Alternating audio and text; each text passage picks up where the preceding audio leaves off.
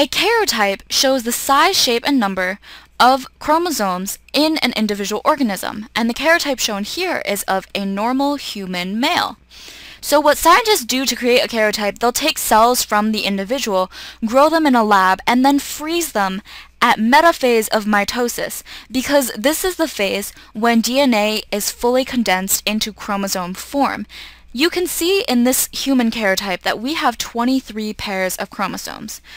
23. 22 of which are autosomes, um, which just means they aren't sex chromosomes, and then one pair is the sex chromosome right here. So you can tell this is a male human because there is an X and Y chromosome present.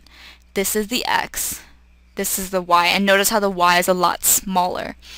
In females, there would be two X chromosomes present.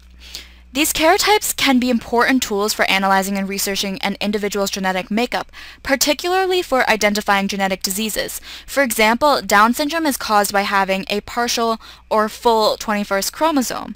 So it would look something like this. You'd have another chromosome right there.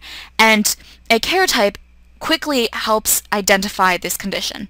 A pregnant mother can also choose to have a karyotype done on her developing baby to look for potential genetic disorders.